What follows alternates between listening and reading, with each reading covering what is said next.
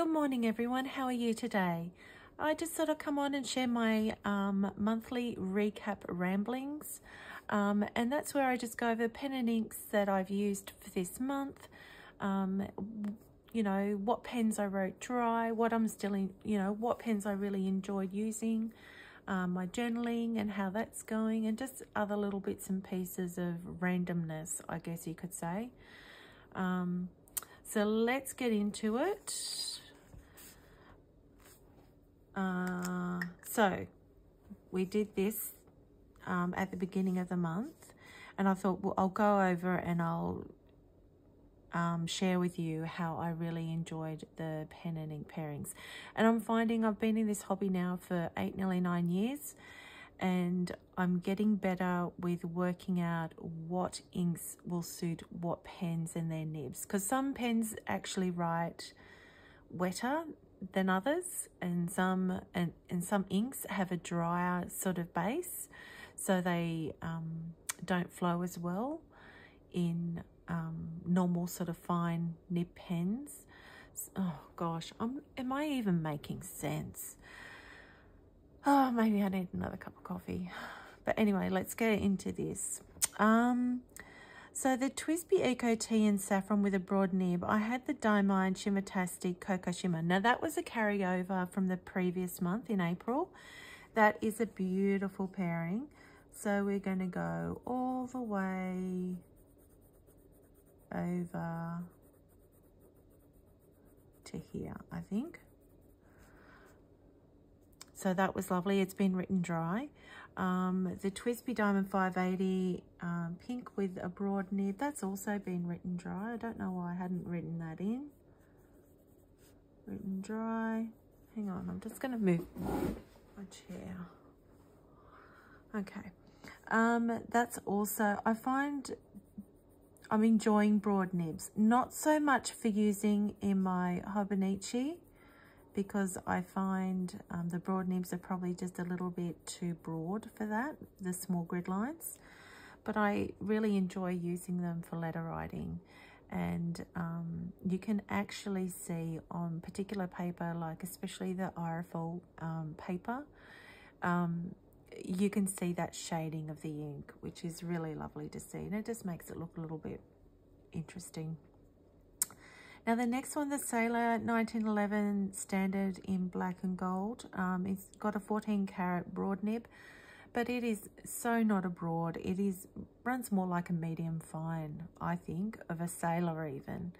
Um, I have a Sailor Pro Gear Slim with a medium nib, and that actually like writes broader than the broad nib. So, um, yeah, I'm not, uh, for those people who really love fine nibs, I think that would work well for them. But I'm finding, I'm struggling to find inks that I like in it at the moment. So um, even though this Sailor Shikiori Tokiwa-matsu ink is a, one of my favorite green inks, I did not enjoy this pairing at all. Um, it, it, I kind of found it a little bit frustrating. Um, the next one, the Sailor Pro Slim um, Princess uh, Kaguya, Kaguya um, 14 carat medium fine nib and that had Sailor Ink Studio 573. That's a very fine sort of nib for me. Um, the ink actually did perform well in it, but it wasn't my favorite pairing for that pen.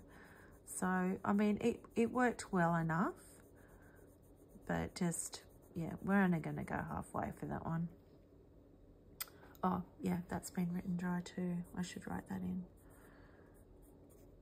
I actually wrote a lot of pens dry this month, just from my letter writing and journaling.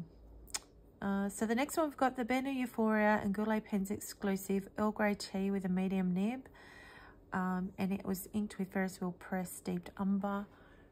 That was a really lovely pairing. That's also been written dry.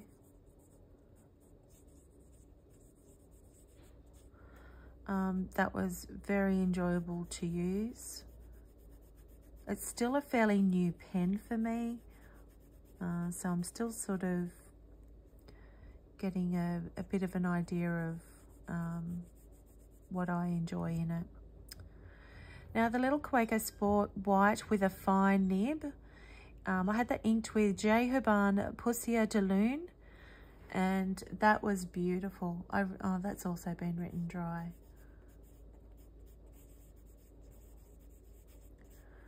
That was such a lovely pen and ink pairing. I really enjoyed the colour and the flow of this ink. Um, it worked well in the fine nib. Very enjoyable. Now the next one was the Benu Euphoria and Atlas Stationers exclusive Gold Coast with a medium nib and I inked that with one of the um, ink mixes that we did with the Birmingham Pen Company um, inks. So that one that we did there was Boiler Steam um, and I had it inked with that and it was very, very juicy. Like I would almost say that this ink was too wet for that pen in the fact that the pen has a very wet nib and flows very well and I think this ink even though it was a love it was lovely to write with um, both the ink and the pen I think it was just too flowy for that pen so we're just going to go halfway for that one even though I enjoyed it. Oh, actually, no, we'll go, we'll go one more. So the next one we had was the Esterbrook Essie in Tortoise with a medium nib and inked with Birmingham Pen Company Waterfront Dusk. I really enjoyed that pairing. Um, it flowed well, it wrote well. I just enjoyed picking it up time and time again and wrote that. Oh, that one's been written dry. All of these have been written dry. Uh, this one too, written dry. So it was just a wonderful pen and ink pairing that I just really enjoyed this month. So, oh, and these two envelopes were sent to earlier in the month. I haven't written in there the other person that got theirs. So the next one we had was the Just Turnings Custom Copper Line with a Platinum 3776 medium nib. I had Colourverse brunch date in that. It worked beautifully. Um, it's just not my favourite pairing. Like, I think Teranishi Opera Rose in that pen is still my favourite pairing. But it worked, it worked well enough. You know, like it still flowed well and wrote well. There were no stopping and starting issues or anything like that. It was just more the fact that I prefer Teranishi's Opera Rose in that pen so far. Um, oh, that's been written dry too.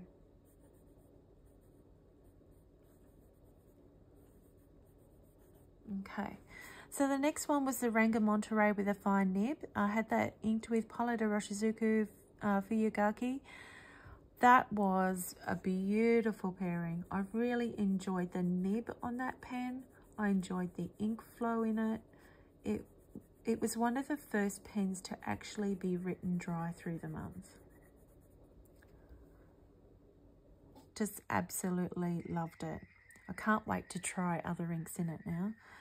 Uh, the next one was the Just Turnings Deluxe Blue Abalone with a medium nib, and we had that inked with Birmingham Pen Company Cold Steam. Once again, a really wet ink with quite a wet nib, and um, it was beautiful, but I think the the pen and ink pairing was probably just a little bit too wet. So, um, but beautiful ink, lovely pen to write with, just not together, you know? Uh, next one, the Leonardo Memento Zero Grande um, in Planetary Nebula with a medium nib, and I had that inked with Robert Oster Morning Mist. That is still, oh, actually, this is written dry too. Sorry, everyone. I'm a bit all over the place, aren't I? So that's been written dry. This one here, the Leonardo um, with the Robert Oster Morning Mist. Now, that Robert Oster Morning Mist ink, I've found to be quite a dry ink in certain pens. But paired with this Leonardo, which has a very wet nib, it was just a beautiful combination. Like, um, it's still going actually, because it has quite a big reservoir in its, um, like reservoir, like ink capacity. That was beautiful. Really, really, really enjoyed that. Uh, next one, which has also been written dry. Um, it was a Just Turnings Unicorn Horn with a medium nib and inked with Birmingham Pen Company Gebra. That wrote very well. It was a really good pairing. Um, enjoyable to use. Once again, one of the first pens that I actually wrote dry for the month. So I think that sort of says something about it as well. Um, I'll go one more. Now the next one, the Monteverde Strata Sapphire um, Blue with a fine nib, and I had it inked with Robert Oster Grey Seas. The uh, the Monteverde Strata, it's a metal pen, so quite often I find metal pens um, almost too heavy for my hand.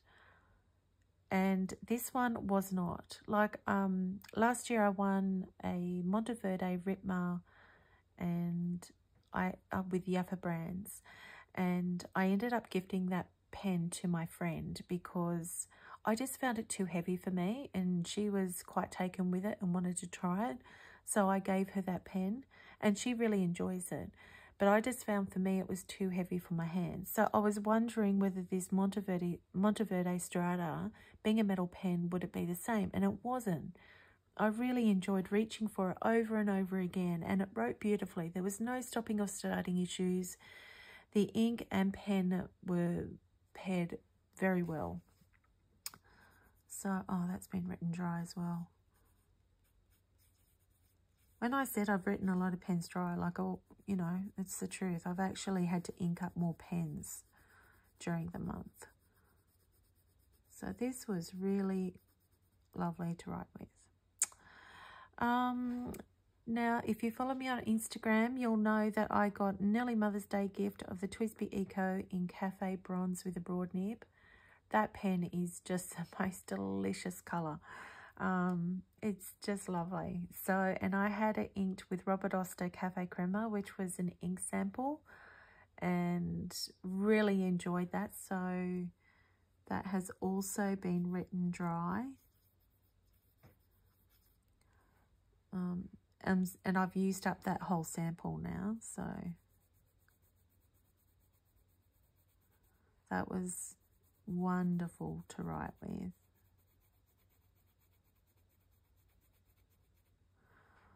Okay, so the next one was added on the 9th of May, and it's the Pelikan M400 in white tortoise with a fine nib and I still have it inked with Robert Oster and Bookbinders Design. Why haven't I got one of these things up there? Hmm. That goes up there. Um, Bookbinders Design Melbourne Tram Green. That is still linked up and going well. So out of all of these, we've got one, two, three, four, five, six, seven, eight 9, 10, 11, 12, 13, 14 pens were written dry. Now, added to this lineup, I, as I said, I found three pens in my bedside table drawer that were left over from March. So I added those to the lineup. Excuse me. And um, that was the, I thought I'd actually written them dry, but I hadn't. They still had a little bit of ink left in them. It was the Let's go back and see if I've actually written it down in here. Uh, nope, nope. Is it here? Yeah, so I had the TWSBI Eco in Cream Rose Gold with a medium nib um, inked with Robert Oster Choc Pudding. And that's still got a little bit of ink left in it. I also had other, oh, it might even be February maybe. Or did I ink them up and not even write them in here? That may have happened too. Yeah, that looks like it's happened. Anyway, the other ones I had was the TWSBI Eco-T in Royal Jade and Rose Gold. And I had it inked with uh, Robert Oster Pulp Addiction um, exclusive ink, which was Blue Addiction. So that was it. I found that in my bedside table drawer. And the other pen I found was the um, Lamy LX in um, Maroon with a medium nib, and I had it inked with Birmingham Pen Company um, Pennsylvania Fieldstone. It had the tiniest amount of ink. So I used those and added those to my lineup. They, the um, TWSBI Eco-T in Royal Jade has been written dry, as is the Lamy LX Marin. So they were added to my lineup. Oh, and then I decided to add more. So I added, when I swatched these inks, I immediately wanted to put some of them into pens. So I put the Sailor Yurameku Ama Moyoi, Ama Moyoi, I don't know.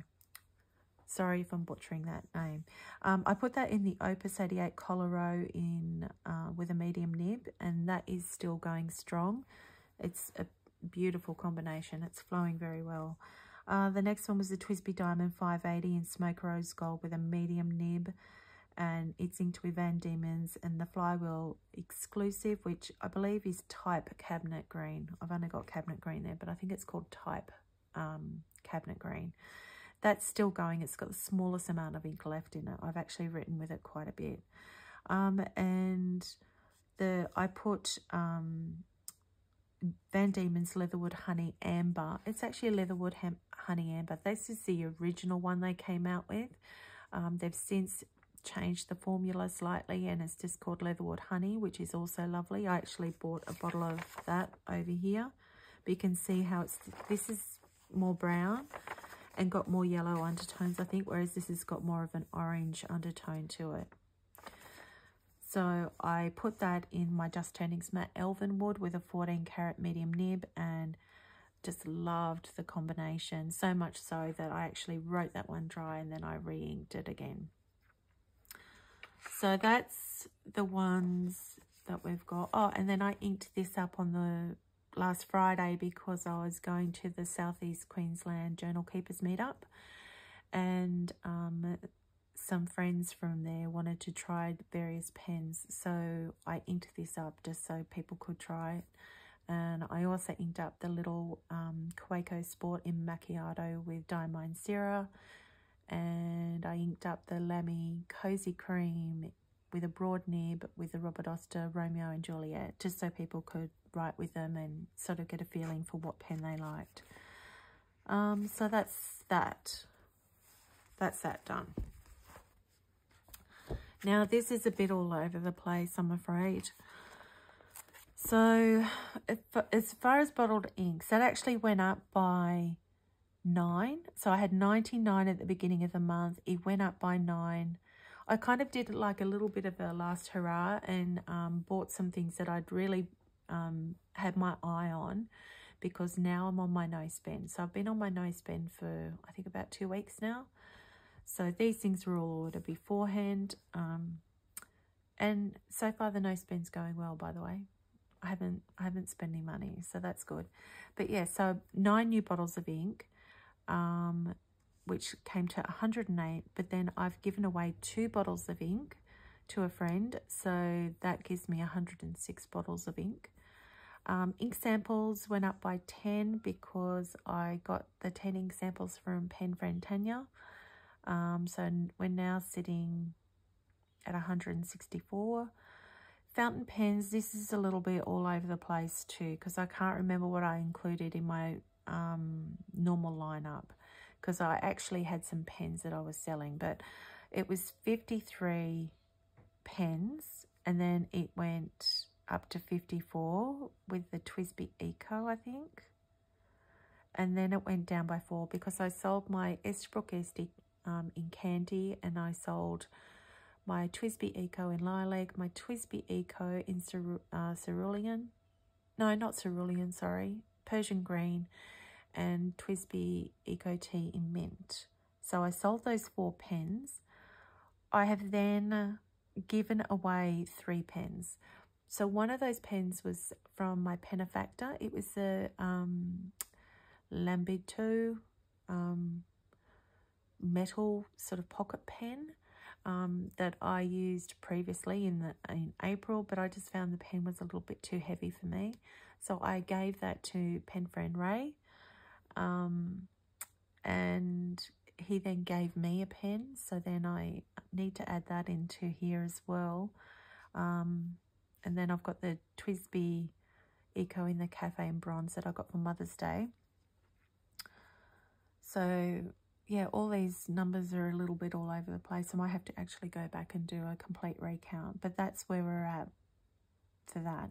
Oh, and then last uh, week I also inked up some pens to go, more pens actually, to go to the Southeast Queensland Journal Keepers meetup, um, just so people could um, have a look at the inks and try the pens. And that was the Sailor Pro Gear Slim in the blue green nebula with a medium nib and I has I have it inked with Sailor Tea Time Moroccan Mint Tea. Um, and I inked up the Benu Euphoria and Atlas Stationers exclusive Gold Coast with Diamine Inkvent Jack Frost. And then I'm trying this Sailor 1911 Standard with um, a Tassia Char ink sample from Pen Friend Tanya. And I thought Tassia inks tend to be um, more lubricated and um, wet inks. So I thought that might work well in this Sailor 1911 standard, but I'm still not 100% sold on that. So that's where that's at. Um, and then into, oh my gosh, what have I done here? What is that? Uh-oh. Can you see that? I don't know what's done that. Did I have something on that and it's gone, oh no. It's almost like it's got wet or something. That's strange. Anyway, so this is my Hobonichi. Uh, where were we at the end of last month? Here we go. So I'm still doing, I'm just checking I'm in frame. I'm still doing this kind of layout and just sort of, um, it's almost like a drop sheet of just randomness things. Um, I sometimes put the weather, I put to-dos in here, report whether I've done a video. Sometimes I put dinner in here. Sometimes I put in um, happy mail that's been received, that sort of thing. And um, and then I, I tend to just fill in with stickers and things like that. So this is still working well for me. I'm enjoying, this is the second month of doing it like this and I'm enjoying, enjoying using these daily pages, oh sorry, weekly page layouts like this. Um, and as I said last Saturday, I went to the SEQ Journal Keepers meetup. So Andrew, one of our members, Andrew, actually makes these. He's very good at using Canva. So the the first one that I ever attended, he actually did us like travel boarding passes with Starbucks because we were actually meeting at the Starbucks and had our names on it and what nib we like preferred with a fountain pen. And it was they were so cool. Like he he knows his stuff. He's really good at doing all that. So um yeah so that's that. And then as far as weekly pages go. Um, oh, I took um, Bella and her little friend to see Kung Fu Panda. Um, so I'm still using this. I've still got more room here. Um, I'm still on The Shadow Sister by Lucinda Riley. I haven't done a lot of reading this month, actually. Um, only watched two movies this month. Um, first one was Glass. And the second one um, we watched as a family for family movie night was Jumanji The Next Level. So which always gives us a good laugh. They're great movies. And um, and then I've been watching um, kind of almost binge watching. Like I don't actually sit and just watch TV and do like I have to journal or write letters while I'm watching. I can't just sit there and watch something or knit. Sometimes I knit too. Um, but I've kind of been binging the NCIS series. Um, so we've done seasons 13, 14, 15, 16, 17 and 18. I know that's a lot, isn't it? But as I said, like once I've we've done dinner, the kitchen has been cleaned, um, all the washing's folded and put away, I tend to just sit on the lounge and I'll I'll do that while I'm writing letters or journaling and just watch, half watch, I guess you could say. So this is just more of the same as I like quotes, stickers, um, using a different pen and ink for each kind of I guess, paragraph that I'm writing about because they're different things. So that's still working well for me. Sometimes I write this way and that way it's different every day. It's just whatever takes my fancy. Um, oh, these little number stickers down here. These were a gift from pen friend Tina. So that was actually numbered pet tape and I just fussy cut them out and used them down here on my hobo pages because last month I used um, the rainbow um, stickers, date stickers from Simone's Ko-Fi or Kofi thing that you can buy and download and just print yourself. So I used those last month and the previous month in March. And then Tina gave me these ones, so I decided to use them for this month. Um, yep, just trying to sort of think this I tried to make a phone free day so I wasn't actually had, had my phone on me or in my hand all the time. I kind of just left it in the one place and didn't touch it, which worked well for me. It's nice to have a little break from it. Um, what else? Yep, more stickers. Oh, these beautiful things are from pen friend um, Louise and she's got a YouTube channel called um, Coffee Tea Paper. I'll put a link to that below, but she sent these in some Happy mail, so I added those in here. Um, this is like one of those embossed seals. Um, it was on the back of um, a package that I received from Aileen Smith Designs. Um, now she is Illegal Aileen on Instagram. I'll try and put a link for that below too.